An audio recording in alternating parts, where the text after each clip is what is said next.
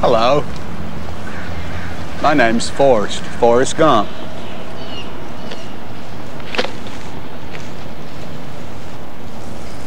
Do you want a chocolate?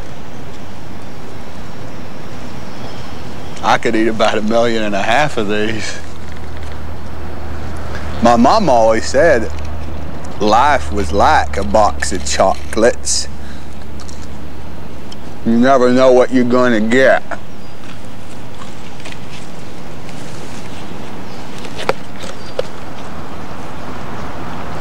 Those must be comfortable shoes.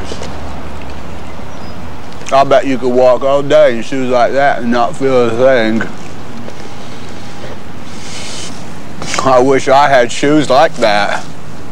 My feet hurt. Mom always said there's an awful lot you can tell about a person by their shoes. Where they going, where they been.